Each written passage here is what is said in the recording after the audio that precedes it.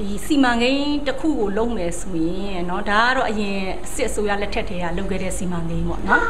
အဲ့တော့ဒီလက်ဗရောင်းတောင်ဂျင်းဒီစီမံကိန်းဆိုရင်လေဟိုပြည်သူတွေနဲ့ဒီစီမံကိန်းနဲ့အဲ့ဒီဒေတာ တဝိုက်မှာရှိတဲ့ပြည်သူတွေပေါ့နော်ဒေတာခံနေတဲ့ဒီစီမံကိန်းလုပ်မယ်ဆိုလို့ရှိရင်တိတိလျောက်ပတ်မှုရှိမရှိအရင်အရင်ဆုံးပေါ့နော်ဟိုလေးလာဆန်းစစ်ပြီးမှလုပ်တင်တာပေါ့အခုလို့လှုပ်လိုက်တဲ့အခါကျတော့ဒေတာခံတွေကဒီစီမံကိန်းနဲ့ပတ်သက်ပြီးတော့မကြေမနက်တွေဖြစ်လာတော့ဒီပေါ့နော်ဥပဒေအရာကတော့လွတ်လပ်စွာပေါ့နော်ဟိုဒီစီတန်းလှည့်လေခွေတို့ဘာတို့တော့ဒီ Facebook အခြေခံမှုတွေကတော့တတ်မှတ်ထားတာပေါ့ဒီမှာပုံမှန်354ပုံမှန်ခွေ ခပါပေါ့နော်ငင်းချမ်းစွာစီတန်းလှည့်လေခွေတို့ဘာတို့တော့တတ်မှတ်ထားတယ်အဲ့ဒါဒါပေမဲ့လေပြည်သူတွေကဟိုပေါ့နော်ဒါကိုလုံးဝမကျေနပ်တဲ့အတွက်သူတို့တွေကဒါကိုလုံးဝရက်ဆိုင်ပြီးကိုတောင်းဆိုလာတဲ့အခါကျတော့ဒီအစိုးရနဲ့ပြဿနာဖြစ်ကြတယ်ပေါ့နော်ဒါဖြစ်ဖြစ်စဉ်လေးပေါ့တိတ်ပြီးတော့ဟိုတစ်ဖက်နဲ့တစ်ဖက်အဲ့လိုလုံးဝကြီးညှိနှိုင်းလို့မရတော့ဘူးဆိုရင်တော့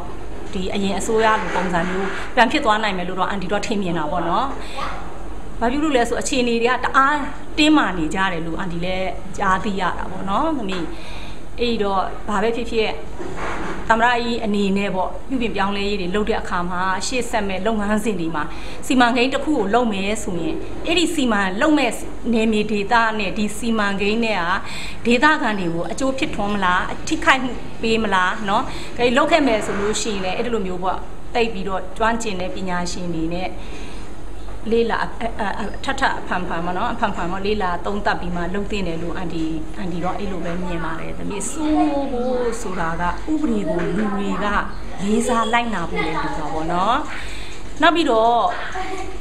ဥပဒေမှာပြဋ္ဌာန်းထားတဲ့ပြစ်မှုနဲ့ပြစ်ဒဏ်နော်ဟိုအန်တီမြင်တာကတော့လေပြစ်မှုနဲ့ပြစ်ဒဏ်မညီမျှအောင်တခါတလေကြတော့ဒီကျူးလွန်လိုက်တဲ့ပြစ်မှုကတအားကြီးပြီးတော့ချမှတ်လိုက်တဲ့ပြစ်ဒဏ်ကသေးတယ်အ ထူးသဖြင့်မဒိန်မှုတွေပါတွေမှာပေါ့နော်အခုဆိုရင်တအားများလာတယ်ပေါ့နော်အဲ့လိုမျိုးလေးတွေ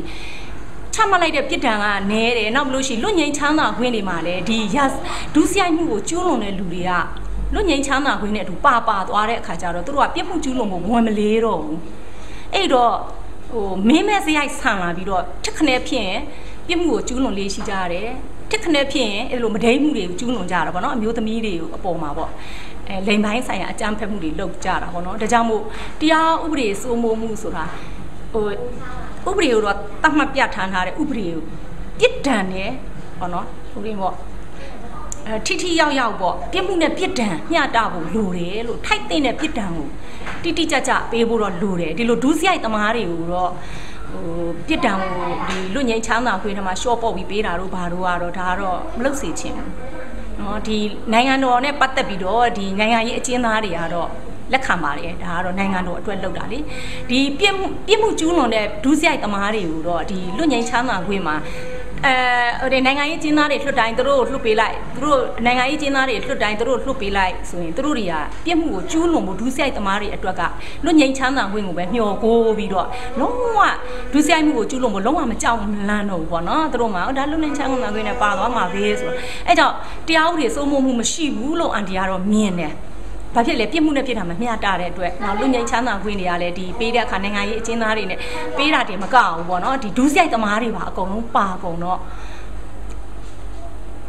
ဥပဒေပိုင်းဆိုင်ရာပေါ့နော်အဲ့ဒါအားနည်းချက်တွေအများကြီးရှိတယ်လို့အန်တီကတော့မြင်တယ်ဒီမကျေနပ်လို့ဆန္ဒတွေပြရတယ်နော်အစိုးရကတော့နိုင်ငံတော်သမ္မတကြီးကတော့ဒီမှာလွတ်တော်ကနေပြီးတော့နော်အဲาะအဲပြည်ထောင်စုလွတ်တော်ဥပဒေအမှတ်15နဲ့ပြဋ္ဌာန်းထားတာပေါ့နော်လွတ်လပ်စွာကိုယ့်ရဲ့လူရင်းဆန္ဒကိုငြိမ်းချမ်းစွာစီတန်းလှည့်လည်ခွင့်နှစ်ဦးနှစ်ဖက်ပေါ့နော်အဲနှစ်ဦးနှစ်ဖက်တော့လိုအပ်တာပေါ့ဒါကတော့ဘာဖြစ်လို့လဲဆိုတော့ဒီစီတန်းလှည့်လည်တဲ့လူတွေကလေဥပဒေနဲ့အညီစနစ်တကျပေါ့ကိုယ့်ရဲ့ဆန္ဒကိုထုတ်ဖော်ဖို့လိုအပ်တယ်။နောက်အစိုးရအနေနဲ့ကလေနိုင်ငံတော်အစိုးရအနေနဲ့ကလေသူတို့တွေရဲ့နော်လိုအပ်ချက်တွေကိုအစွမ်းကုန် နော်ဟိုလောက်ကင်ဆောင်ရွက်ပေးဖို့ပြုပြင်ပြောင်းလဲပေးဖို့လိုတယ်အဲ့လိုနှစ်ဦးနှစ်ဖက်ပေါ်မှာတော့အများကြီးတာဝန်ရှိတာတစ်ဖက်တည်းတော့မဟုတ်ဘူးပေါ့နော်အစိုးရပေါ်မှာလည်းတာဝန်ရှိတယ်ဟိုဟာဒီကိုယ့်ရဲ့လူအင်ဆန္ဒပေါ့ဒီလက်ပတောင်းတောင်တင်းနီစီမံကိန်းလိုမျိုးမကျေနပ်လို့ဒီဆန္ဒပြတဲ့လူတွေပေါ့ဟာလေသူတို့ကလည်းဥပဒေနဲ့အညီသူတို့ရဲ့လူအင်ဆန္ဒကိုငြိမ်းချမ်းစွာ ပေါ့နော်ဒါဆန္ဒပြတင်တာပေါ့ဒါကတော့ဥပဒေနဲ့အညီပေါ့နော်ပြတင်တယ်အဲ့လိုနှစ်ဦးနှစ်ဖက်ညီမျှမယ်ဆိုရင်တော့ဒါဖြစ်စရာအကြောင်းမရှိဘူးသို့တော့နိုင်ငံတော်အစိုးရအနေနဲ့ကလည်းအတက်နိုင်ဆုံးကိုကနိုင်ငံတော်ဒီမိုကရေစီနိုင်ငံတော်အဖြစ်ဖို့ပေါ်ဆောင်နေတဲ့နေရာမှာပြည်သူတွေရဲ့အတန်ပြည်သူတွေရဲ့လိုအပ်ချက်ကိုအတက်နိုင်ဆုံးအကောင်းဆုံးဖြစ်အောင် ဖြစ်စီဆောင်ရွက်ပေးရင်ပုံမူပြီးတော့အကောင်းပုံမှာပေါ့နော်ဒါကတော့အဲ့လိုမျိုးဖြစ်လာမယ်ဆိုလို့ရှိရင်အန်တီတို့နိုင်ငံကနောက်ပြန်ဆုတ်ဖို့ဘယ်တော့မှမဖြစ်တော့ဘူးရှေ့ဆက်ပြီးတော့ရှေ့ဆက်တိုးပြီးတော့အဲနှစ်ဦးနှစ်ဖက်ကျင်းနှမှုရပြီးတော့ငြိမ်းချမ်းသာရတဲ့ဒီမိုကရေစီနိုင်ငံတော်ကိုဖော်ဆောင်နိုင်မယ်လို့အန်တီယုံကြည်ပါတယ်သားတွေပေါ့နော်အန်ဒီမွန်တိုင်းရင်းသားတွေဖြစ်တယ် ဒီကချင်မှာဖြစ်ပျက်နေတဲ့ကိစ္စကလည်းအန်ဒီထင်ပါတယ်ဖက်ဒရယ်နဲ့သက်ဆိုင်ပါတယ်အန်ဒီတို့ကဒီပြည်တော်စုနိုင်ငံတော်မှာပေါ့နော်ဒီတိုင်းရင်းသားလူမျိုးပေါင်းစုံဖွဲ့စည်းနေထိုင်ကြတဲ့အထက်မှာကချင်ကရကရင်ချင်းရခိုင်ရှမ်းပေါ့နော်အန်ဒီတို့ကကုတ်ပြည်နယ်ပြည်နယ်အလိုက်ပေါ့တတ်မှတ်ပေးထားတယ်သို့တော့တိုင်းရင်းသားတွေက ဒန်းတူညီမျှအခွင့်အရေးတွေမရရှိကြဘူးပေါ့နော်ဒါကြောင့်မလို့ဒန်းတူညီမျှအခွင့်အရေးမရမရရှိကြဘူးဒါကြောင့်မို့ Federal Federal စနစ်ကိုကျင့်သုံးဖို့လိုလားတယ်ပေါ့နော် Federal ဆိုတာကခွဲထွက်တာမဟုတ်ဘူး Federal စနစ်ဆိုတာဒီဒီပြည်ထောင်စုနိုင်ငံတော်ကနေအန်တီတို့တိုင်းရင်းသားတွေကခွဲထွက်တဲ့မှုမဟုတ်ဘူး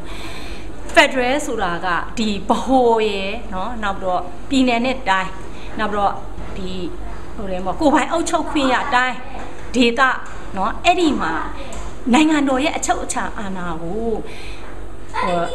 ညဝေပြီးတော့ပေါ့နော်ညီတူညီမျှခွဲဝေပြီးတော့ကြည့်သုံးတဲ့စနစ်ဖြစ်တယ်အဲ့ဒါလိုညီတူညီမျှခွဲဝေကြည့်သုံးမယ်ဆိုရင်တိုင်းရင်းသားတွေအားလုံးကအခွင့်အရေးဓာတ်တူရလာကြမယ်။နောက်ပို့ပြီးတော့လေအခွင့်အရေးဓာတ်တူရလာကြောင့်တိုင်းရင်းသားတွေကြားမှာပြိပခဆိုတာမရှိဘူး။အဲ့တော့တိုင်းရင်းသားတွေအားလုံးကဒီအန်တီတို့ရဲ့အခုပေါ့နော်ဒီ ဘာခေါ်မလဲဟိုတိုင်းရင်သားစီလုံးညီညွတ်ရေးဟိုအခြေအဲဗာလေတို့တောင်းအရေးသုံးပါနဲ့အညီပေါ့နော်ပို့ပြီးတော့တိုင်းရင်သားတွေအချင်းချင်းသွေးစီလုံးညီညွတ်မှုလည်းရှိမယ်နောက်ပြီးတော့ဟိုဟိုပြိပခါတွေမဖြစ်တဲ့အခါကျတော့နိုင်ငံတော်ကလည်းငြင်းချမ်းသာရမှာပေါ့နော်